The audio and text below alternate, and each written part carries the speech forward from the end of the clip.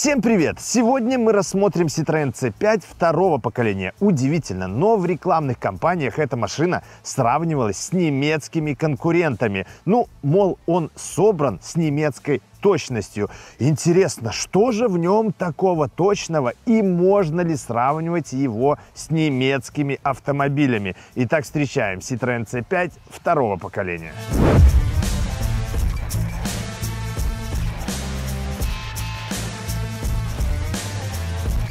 Citroёn C5 выпускался с 2007 по 2017 год и был доступен в кузове седана и универсала. Универсал есть еще во внедорожном исполнении Cross Tourer, но полный привод для этой машины не предусмотрен в принципе. Родственником Citroёn C5 второго поколения является Peugeot 407. Все то же самое, но с львиным обликом и без гидропневматической подвески. Этот Citroёn сделан дороже, материалы интерьера добротнее. Выглядит в этом поколении он обычно не экстравагантно, но единственную шалость, которую позволили себе французы, и та скрыта. Но ее можно найти, если присмотреться к заднему стеклу. Оно вогнутое. То есть это единственное, что в этом поколении позволили себе дизайнеры и конструкторы. В остальном же Citroёn C5 второго поколения выглядит так же скучно, как и немецкие конкуренты. Ну, может быть, так и задумывалось. Но, как вы знаете, наша обзоры не о форме фар и упругости кнопок. Сейчас мы вам расскажем, как все вот это вот служит и как ломается.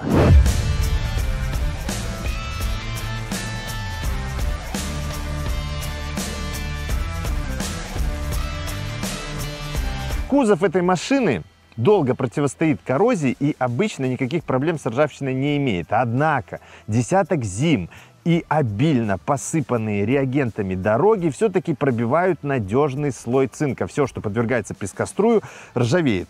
Первыми обычно сдаются передние крылья. Если вы увидели вспучивание краски на крыльях, то, скорее всего, коррозия уже бурно развилась внутри колесных арок. На самом деле, ржавый Citroёn C5, особенно в области порогов и днища, не такая уж и редкость. Следите за кузовом автомобиля, не жалейте деньги на мойки, а также внимательно выбирайте автомобиль при покупке. В приводе стеклоочистителей у Citroёn C5 аж два электромотора. Так вот, годы истекающая по лобовому стеклу вода приводит к коррозии стальных корпусов этих электромоторов.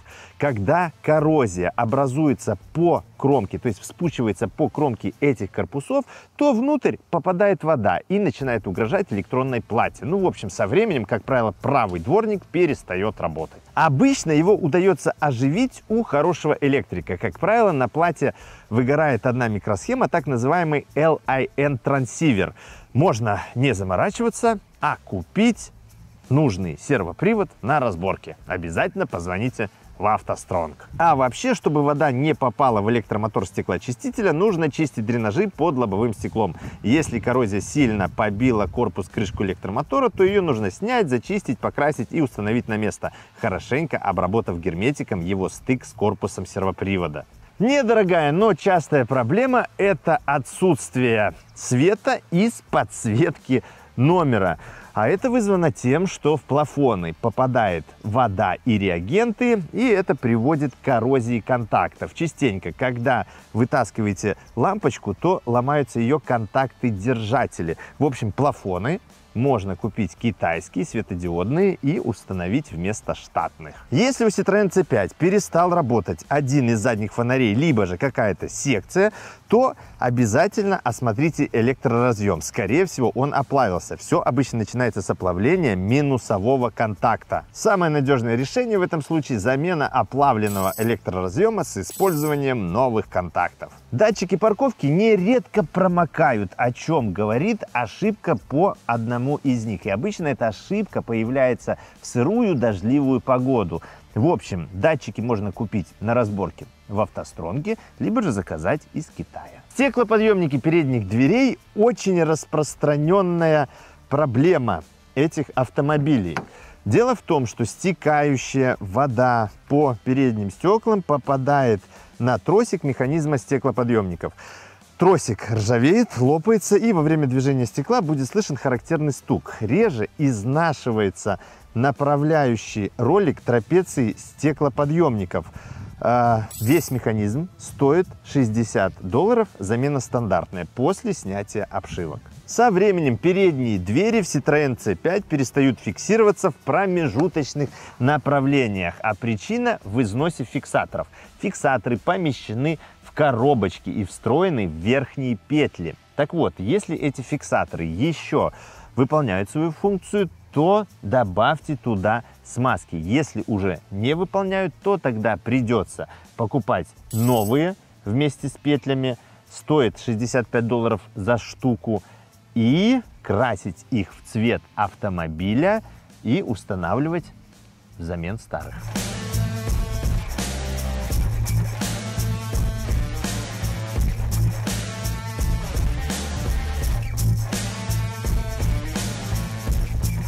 Корпус ключа у Citroёn сильно изнашивается, буквально даже протирается. Вдобавок вот это вот жало может отвалиться. Ключи можно заказать из Китая, как пустые, так и со внутренностями. Если заказываете со внутренностями, то его можно привязать к машине. Для этого нужен карпас, или же пин-код, который состоит из четырех цифр. Этот пин-код был напечатан на пластиковой карточке и прилагался к каждой машине.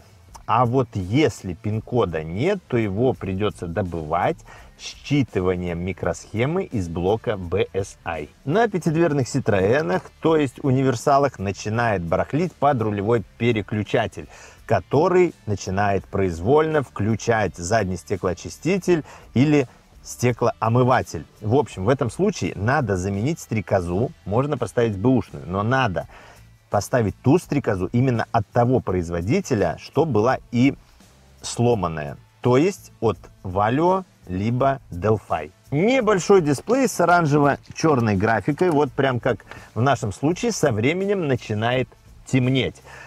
Эту беду лечат, не снимая дисплея. А вот если автомобиль оснащен цветным дисплеем, который побольше, то со временем он может покрыться зелеными пятнами.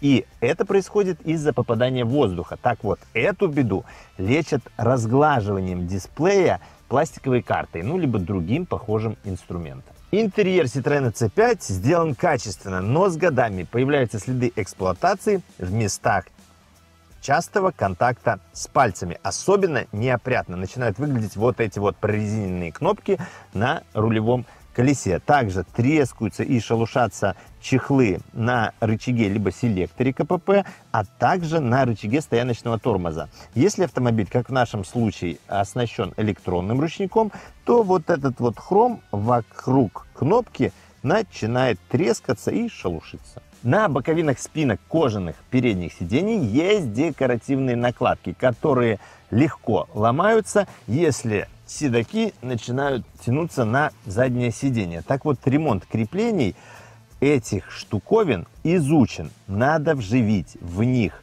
шпильки либо болты диаметром 3 мм, сточить шляпки, а затем установить на место с использованием новых креплений.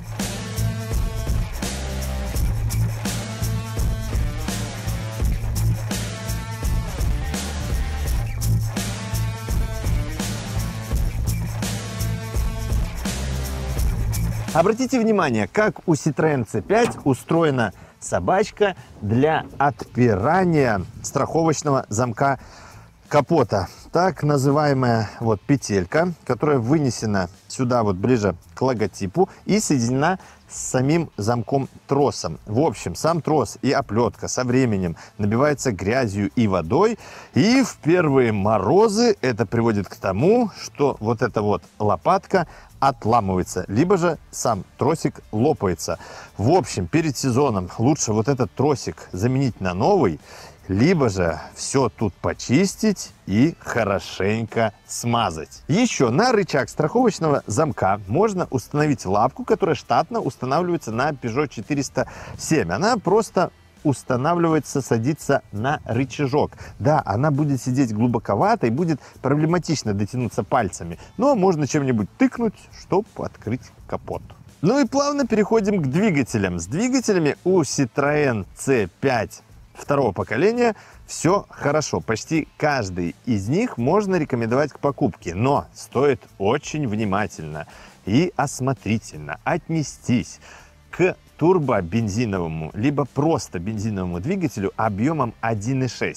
Это двигатели Prince, так называемые всеми любимые EP6, детище компании BMW. У этого двигателя было немало проблем, которые дилеры устраняли по гарантии. Также в нем что-то улучшали, но в итоге получилось так себе. У нас есть подробнейший обзор на этот мотор, на это чудо. Если этот двигатель без капремонта дожил до пробега в 200 тысяч километров, скорее всего, в нем меняли масло каждые 8 тысяч километров. Так вот, при таком пробеге ждите расход масла через маслосъемные колпачки. Если покупаете такую машину на вторичном рынке, то внимательно отнеситесь к диагностике цепи ГРМ и состоянию цилиндров. Это особенно актуально для турбированных EP6, как в нашем случае. Еще у турбированных моторов не сильно долговечный топливный насос высокого давления, отвечающий за непосредственный впрыск топлива. Атмосферный же EP6 проще, впрыск у него распределенный, но его тоже надо держать чистоте, а именно почаще менять масло. И стоит ожидать, что цепь ГРМ едва ли пробежит 120 тысяч километров. Другие бензиновые двигатели всегда атмосферные и французские, родом из 90-х годов. Простые, незамысловатые, никогда дорого не ломаются, могут лишь неторопливо течь маслом по клапанным крышкам. И стоит помнить, что они нуждаются в замене ремня ГРМ каждые 60 тысяч километров. И у нас на канале есть подробнейший обзор этих моторов. Также мы обозревали еще трехлитровый атмосферник. Это простой, не выдающийся мотор, то есть мощность у него не выдающаяся, но большой расход топлива. То есть этот простой, по своей сути, мотор обзавелся фазовращателями которые могут беспокоить каждые 150 тысяч километров. Дизельные двигатели у Citroёn C5 свои, французские. Они кажутся более интересны с точки зрения технологичности, с точки зрения мощности и экономичности. Всего для C5 было предложено 6 дизельных двигателей, если судить по их рабочему объему. И сразу вам небольшой спойлер. Ну, капризных и плохих моторов среди этих двигателей нет. То есть систематических слабых мест и недостатков буквально нет. Если мотор обслужен, не залит маслом, ни в районе прокладок, ни по впускному тракту, не дымит, не трясет, не пыхтит газами из маслозаливной горловины, то с ним в целом все в порядке. Состояние форсунок лучше всего оценивать на слив по объективным данным, то есть по измерению скорости и равномерности слива топлива в обратку. Сразу отметим, что большинство этих турбодизелей оснащены сажевым фильтром типа ФАП. Так вот, этот фильтр нуждается в присадке Иолис. 3,5-литровый бак для этой присадки находится под бензобаком, а заправочный штуцер за задним левым колесом.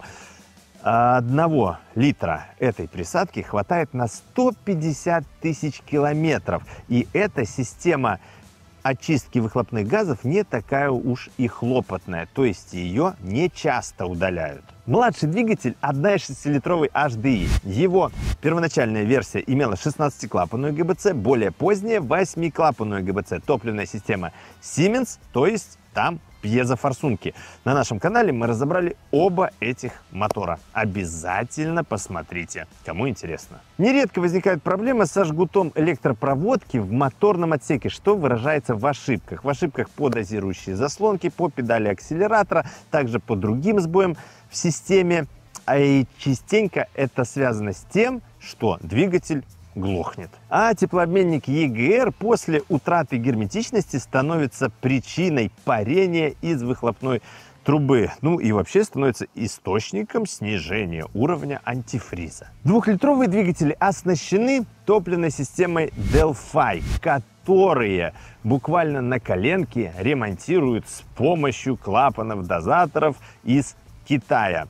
Жгут моторной проводки в автомобилях с этим мотором чувствует себя хорошо. А вот неисправность концевика стоп-сигнала может привести к сбою круиз-контроля, а также к тому, что двигатель будет не запускаться. 2,2-литровый турбодизель встречается реже. У него топливная система Bosch, а за надув отвечает модуль из двух турбин. Это редкий четырехцилиндровый би-турбодизель. Но в целом он является близким родственником 2.0 HDI и поэтому делит с ним те же проблемы. Флагмановские дизельные двигатели на Citroёn C5 это битурбированные шестерки объемом 2,7 и 3,0. У младшей версии топливная система Siemens у старшей топливной системы Bosch. Эти двигатели очень зависимы от системы охлаждения, то есть перегрев может случиться буквально после 50-100 км пробега при полете на скорости свыше 120 км в час. Двигатель просто приварит вкладыши. Ну, остальные проблемы, в принципе, мелочи. Мы разобрали этот мотор, подробно о нем рассказали, порассуждали о его маслонасосе, а также о сорте масла.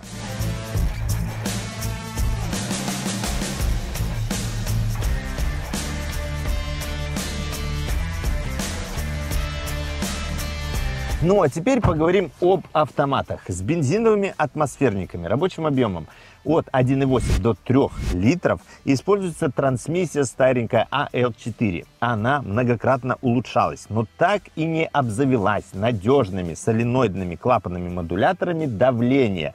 Если эта трансмиссия начала пинаться, то надо съездить на небольшой э, ремонт по замене отказавших соленоидов.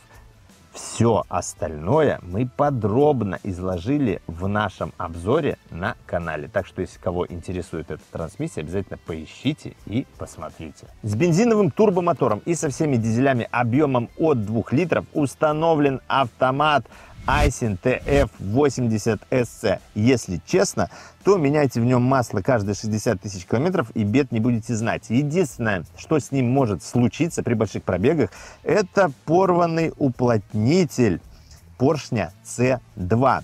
Так вот, при такой проблеме трансмиссия начнет безнадежно буксовать на 4, 5 и 6 передачах. Надо срочно ехать на ремонт, надо будет заменить поршень C2 и все фрикционы этих трех передач. Ну, а все остальное мы изложили в нашем подробнейшем обзоре на канале. Интересует эта трансмиссия, обязательно посмотрите. 1,6-литровый атмосферник и 1,6-литровый турбодизель работают в паре с трансмиссией роботизированной EGS-6. Это редкий экземпляр и по нем не так много специалистов. Надежность у него неплохая, хорошо диагностируется и нуждается в замене масла. Кстати, этот редкий экспонат мы тоже разобрали, так что кому интересно, айда посмотрите на нашем канале. Кстати, Citroёn C5 может удивить тем, что рычаг селектора АКПП невозможно сдвинуть из паркинга. И это происходит из-за того, что вышло из строя реле, которое отвечает за механизм блокировки.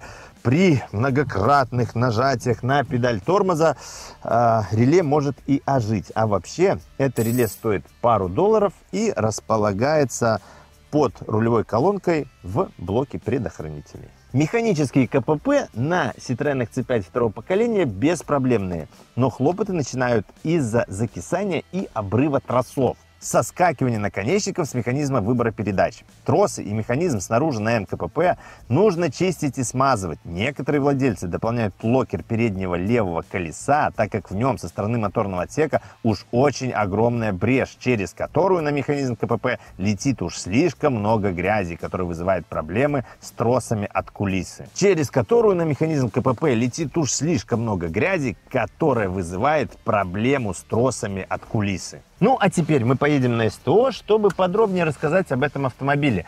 Помните, что в «АвтоСтронге» есть прекрасное подразделение «МотоСтронг». Мы сами привозим мотоциклы из Европы, подбираем байки с минимальными пробегами и в отличном состоянии. Продаем с полным пакетом документов. Нужен мотоцикл? Обязательно позвоните в «МотоСтронг». Ссылочки я оставлю в описании.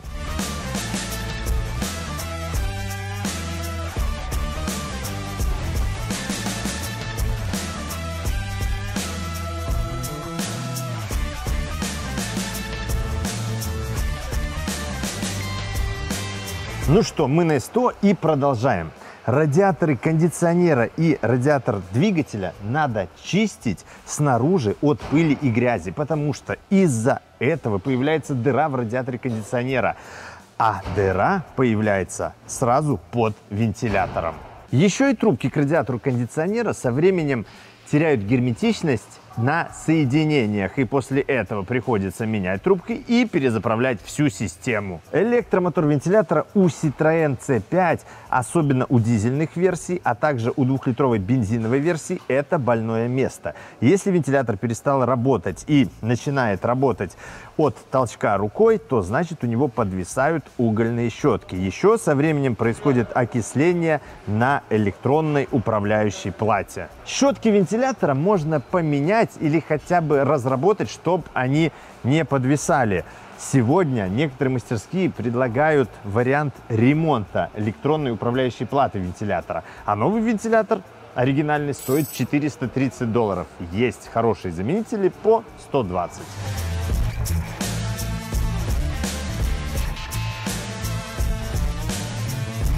Правый локер совершенно не защищает двигатель, и поэтому вся грязь, вода и так далее летит на шкив коленвала и его ремень. Так вот, из-за этого ролики шкива изнашиваются быстрее. Эту брешь можно заделать самодельными щитками, либо же купить оригинальный локер, который был доступен для некоторых версий Citroёn C5. Citroёn C5 встречается с сервоприводом стояночного тормоза. Это хлопотный механизм, но его уже научились ремонтировать. Меняют потрескавшиеся рубашки тросов, заменяют лопнувшие пластиковые шестерни в его редукторе. Вы можете найти в продаже уже восстановленные сервоприводы, которые продаются примерно за 170 долларов с условием замены на ваш неисправный механизм. Тоже отличает Citroёn C5 от одноклассников и его ближайшего собрата Peugeot 407. Так это гидропневмоподвеска. Называется Hydractive 3 Состоит из семи сфер. По одной сфере на каждую гидростойку, а также одна и две для регулирования жесткости передней и задней подвески соответственно. Все это служит достаточно долго, надежное и проедет примерно 150 тысяч километров. Сферы, которые являются гидроаккумуляторами, в которых есть мембраны, разделяющие газ и гидравлику, сегодня ремонтируются. Гидравлические амортизационные стойки с сухими уплотнениями гидроцилиндров тоже ремонтируются. Трубки, соединяющие все гидростойки, тоже без проблем меняются на новые. Как правило, утечки рабочей жидкости через соединение трубок приводят к тому, что подвеска сдувается и машина садится на брюхо. Если машина приседает на одну из осей, как правило, заднюю, а на асфальте под днищем нет никаких следов утечки гидравлики, а клиренс восстанавливается рывками при открытии водительской двери, то значит проблема в электроклапане жесткости задней подвески. Этот клапан находится в блоке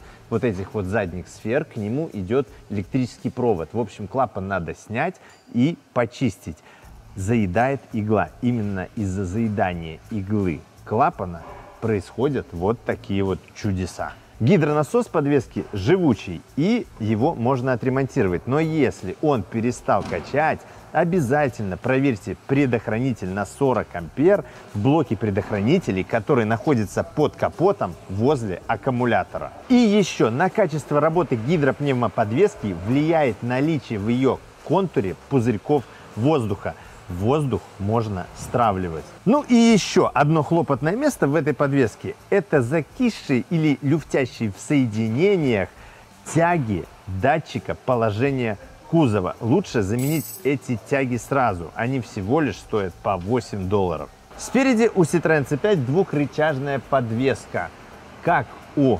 гидропневматических версий, так и у пружинных версий, то есть подвеска одинаковая. Нижние рычаги, как в Макферсоне, треугольные и изнашивается, как в Макферсоне, первым задний соленблок. Ходит примерно 120 тысяч километров. Но при замене сайлентблоков задних, которые еще в народе называют улитками, надо учитывать, какие подрамники у автомобиля. То есть стальные, либо алюминиевые. То есть корпуса сайлентблоков отличаются. Передние сайлентблоки бублики стоят по 20 долларов за оригинал. Есть заменители по 9 долларов. Шаровые опоры, на которых вращаются кулаки передних колес, поворачиваются, ходят примерно 200 тысяч километров и при снятии закоревают.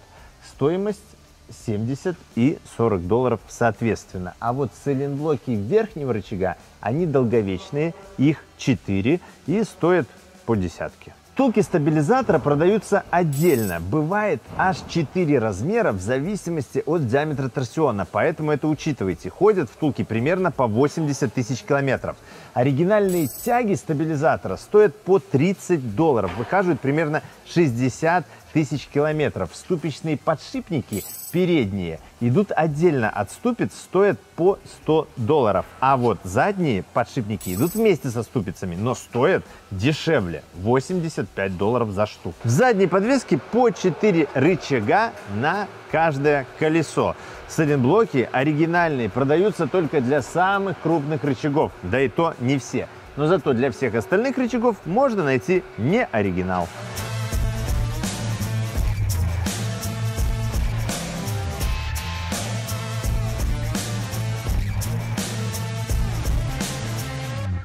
У Citroёn C5 свои покупатели, многие из которых выбрали эту машину из-за наличия гидропневмоподвески. Она подкупает плавностью хода. Компоненты ее недорогие, раз починил и забыл на 3-5 лет. Все дизельные моторы у этого автомобиля хороши, а бензиновый младший лучше брать на машинах моложе 2013 года. И неоспоримый плюс этой машины – это ее цена, потому что она значительно дешевле немецких конкурентов.